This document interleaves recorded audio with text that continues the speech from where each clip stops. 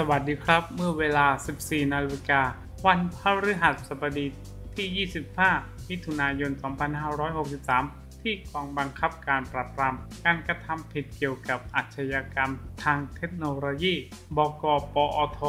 ทนายความพร้อมด้วยผู้รับมอบอำนาจจากบริษัท GMM TV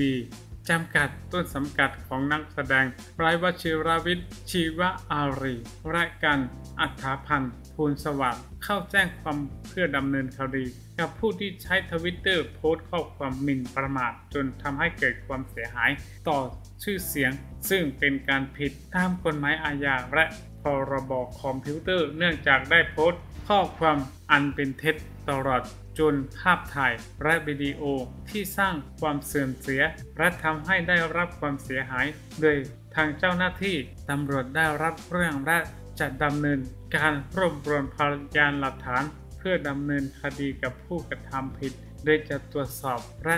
สืบสวนทางเทคนิคเพื่อหาผู้กระทำผิดเพิ่มเติมต่อไป นายพัสพงศ์ พงลิขิตทนายความกล่าวว่า ผมได้นำผู้รับมอบอำนาจตามกฎหมายมาแจ้งความร้ายใน